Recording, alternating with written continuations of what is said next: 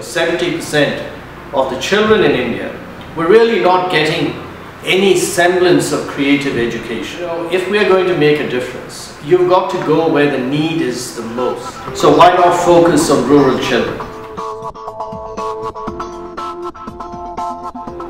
So with that in mind, we acquired a barren piece of wasteland, 172 acres, in a backward area in southern India, a place called Kuppam, two and a half hours by road from Bangalore. But the bad news was we ran out of money. So what do we do? Uh, we came up with an interesting idea. We said, look, while we wait for the money to build the buildings on the campus? Let's go out to the villages and the children. How about a mobile lab? So a friend of mine loaned us a second-hand vehicle. Uh, Dr. Iyengar, the former Atomic Energy Commission chairman, arranged for an organization in Bombay to provide us a trunk full of very low-cost science experiments, which at that time cost no more than the equivalent of $8 today. We hired our tractor driver, told him uh, to stop being the tractor driver, that he was going to be our new science instructor, and sent the mobile lab into the villages. The response was phenomenal. Children loved it. Initially, I'm told they ran away thinking he was a missionary. But then when they heard that he was actually going to teach them science in a very interesting, hands-on, experiential way, they came flocking back. And so all of a sudden, we had this mobile science van that began to grab attention. Somebody in the government in Karnataka read about it in the papers, called me and said, hey, this sounds really interesting. Can you uh, do it for the rest of the state of Karnataka. And so slowly we began to work with the government of Karnataka and spread these mobile labs across the state. But mobile labs are mobile, so we said let's have a hub and spoke model. Let's have stationary science centers where children and teachers can come and do work hands-on and learn and have these mobile labs go to more remote areas. And that model became very successful. And today we have nearly 200 mobile science vans and about 60 science centers across 19 states in India. Meanwhile, I ran into an ecologist who came and saw our land and said, yeah, it's all very ba barren and overgrazed land, but guess what? The soil is quite interesting. If you give me an opportunity, I think I can revive the ecosystem of the land. So we began to fence the land, we began to protect the land from cattle grazing, and slowly the land began to express itself. A lots of lots of dormant species under the earth began to come out. And, and just a year ago, the Indian Institute of Science wrote a study on the regeneration of the Agastya campus, the eco-regeneration. And children and teachers come from all over to learn about the medicinal properties of plants, herbs, about soil conditions, water harvesting, all the stuff that people talk about today as being essential for human survival and success. In terms of developing the campus, I ran into one of India's wealthiest people, a gentleman called uh, Rakesh Jhunjhunwala, a stock market investor. And he got interested in the idea of the mobile science van. And he said, you know Ramji, I can see them all over India. It sounds like a powerful idea. So he began to fund initially one, two, and three mobile labs. And then he said, look, why don't I help you develop your campus? And so money began to flow into the campus, and gradually the campus began to evolve in very different, interesting ways. We dropped the idea of creating a school. Instead, it became a school for schools, a resource center where children from hundreds and thousands of schools come to our campus and learn hands-on in a very experiential way. It's a public laboratory and it's very integrated. We have centers for science, math, chemistry, physics, astronomy, possibly the world's largest suspended planetary system. We are building a fantastic new interactive biodiscovery center and we're also planning something in aviation. Campus has become a truly creative lab, a crucible for getting people to think differently. What do we mean by thinking and acting differently? We said, look, there are four or five behavioral shifts that we have to trigger. The first shift is from yes to why. The second is from looking to learning to observe. The third is from being very textbook bound to being more hands-on. The fourth is from being very passive to learning to explore.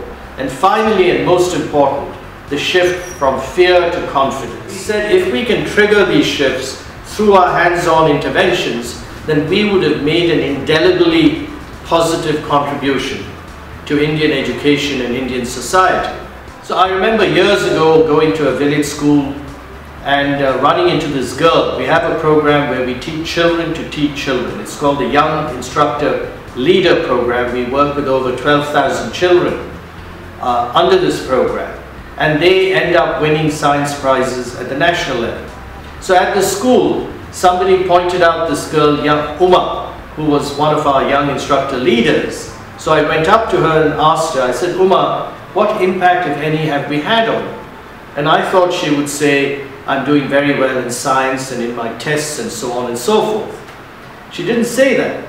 She looked at me and said, Sir, I'm not afraid to speak anymore. And that's when I realized that the real value of our intervention was in this behavioral shift in raising one's self-belief and self-esteem. And that's really the power of it. Now, it turned out that Uma did extremely well in her studies and ended up being the first girl from her village to join an engineering college. So all of that happened. But the underlying change was really one of self-belief. And that's really what the Agastya Foundation is about and should be about. So over the years, we had created these mobile labs and science centers. And then we said, look, you know, is there a cheaper version of the mobile science van? And we came up with the idea of a lab on a motorcycle. And in fact, it won the Google Global Impact Challenge Award in 2013, a version of it called the Teklabike. One day I remember in 2009 visiting a village at night where we run these night mobile lab visits and uh, usually the entire community, the children, the parents, grandparents gather around the mobile lab to experience the thrill of it I climbed a little house, the rooftop, and I was taking pictures when I noticed a young girl uh, surrounded by three kids and she was teaching them from one of our models, a model of a food chain. So I climbed down and went up to her and I was rather curious and I said, hey, uh, what's your name? And she said, Vasanta. Why aren't you with the mobile lab? What are you doing here? And she said, because I like to teach. I'm teaching. And I said, really? And she took me to her home and showed me a blackboard and a chalk and said, I teach her every night. And that gave me an idea. I thought, why don't we launch Operation Vasanta? In hundreds, possibly thousands of villages across India. Let's find a young person like Vasanta, a girl or a boy, a school student or a college student from that village, train them, get them juiced up and give them the support and materials they need to run a night village school. And we're doing that in 400 villages across India. The Operation Vasanta program is almost zero technology, but it's very, very low cost and extremely high impact. The student goes through transformation. The parents are very happy that the children are studying and not wasting their time watching television. The children tell us that if they went home, the parents would give them chores to do, and they'd much rather sit in an Operation Vasanta class. I came up with a phrase some years ago to summarize this. We said, look, we're sparking curiosity, nurturing creativity, and instilling confidence. Another way to explain this is to say, we are disseminating the spirit of ah, aha, and ha-ha, which you can see on this tree. When you see something counterintuitive, different, beautiful, you tend to go, ah, and that's very important because that stimulates your mind. And then you wonder, why does this happen? How does it happen? Could it happen differently?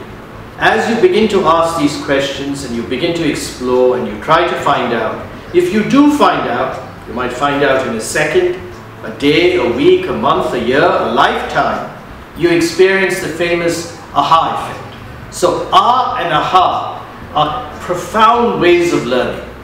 Ways of learning that are completely forgotten and de-emphasized in most education systems around the world. But there is a third secret and that is about having fun, enjoying what you're doing.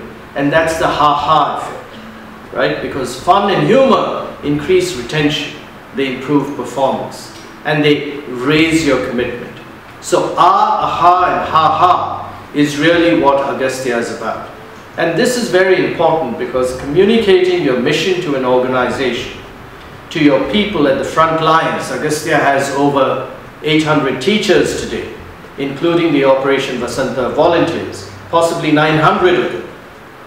They have to understand your mission in a way that reaches them not only here, but here, so that they bring their passion to bear when they do their work. And ah, aha, ha, ha is a simple and yet almost universally relatable way of understanding what your work is all about. One of India's greatest presidents was Dr. Abdul Kalam. And one day he called me and said, you know Ramji, I would like to launch a couple of mobile labs in one of India's most backward areas in northeastern uh, India. And I said yes, and he himself funded the acquisition of these vans, and Agastya funded their operational costs. And that led to a lot of visibility for the foundation, simply because the most revered President of India, Abdul Kalam at the time, took interest in this. Now, why would Abdul Kalam have been interested in uh, sponsoring a couple of mobile labs in a backward part of northeastern India? Because he believed that this was a big idea. It was a good idea, but it was also a big idea that had the potential to scale. Along with Kalam came a lot of scientists and engineers who benefited our organization tremendously. So the network began to grow because of the way we thought and acted. So think big. As we've, I've seen again and again in Agastya, what I had planned for initially didn't pan out, but something more interesting and bigger actually panned out. And that's because I and my colleagues were prepared to be flexible, to experiment, to discover, and not get rigid. We decided to flow with the way things were going. So that is really very, very important. Persist, go with the flow, don't give up.